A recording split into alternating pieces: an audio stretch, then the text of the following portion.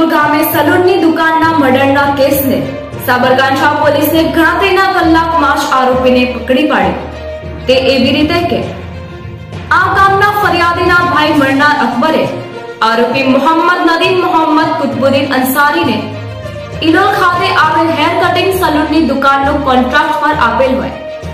તથા બંને વચ્ચે મૌખિક વાત એ મુજબ દુકાનના સામાનના રૂપિયા દો લાખ આરોપી મોહમ્મદ નદીમે મરનાર અકબરને આપવાના હોય જે પૈસાને મરનાર અકબરે આરોપી મોહમ્મદ નદીમ પાસે ઉઘરાણી કરતા અગાઉ મોહમ્મદ નદીમે મરનાર અકબરને કહ્યું હતું કે તું ઇલોલ ગામે પૈસા લેવા કે દુકાન ખાલી કરાવવા આવતો નહીં અને જો ઇલોલ ગામે આવીશ તો હું તથા મારી સાથેના તેમજ મારા ગામના શહેબાઝ અહેમદ મોહમ્મદ શાન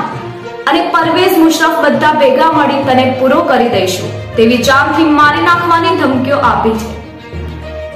પછી આરોપી મોહમ્મદ નદીમે ફરિયાદીના ભાઈ મરના અકબર સાથે વિશ્વાસ કેળવી ઇલો ખાતે બોલાવી સામાનના પૈસા આપવા ન પડે. અને પૈસા પરત ન આપે તો અકબર દુકાન ખાલી કરાવે તેવો ભય હોય. આ ચારે આરોપીઓએ ભેગા મળી. ગુન્હા એક કાવતરું રચી ફરિયાદીના ભાઈ મરનાર અકબરને હિસાબ કરાવવાના બહાને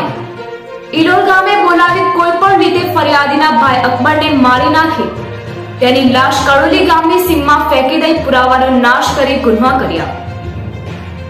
હિંમતનગર ગ્રામ્ય પોલીસ સ્ટેશન દ્વારા આ કેસની ગણતરીના કલાકોમાં જ આરોપીને જેલ હવાલે કર્યા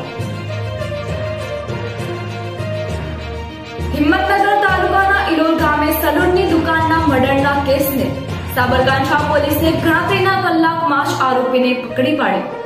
તે એવી રીતે કે, આ ગામના ફરિયાદીના ભાઈ મરનાર અકબરે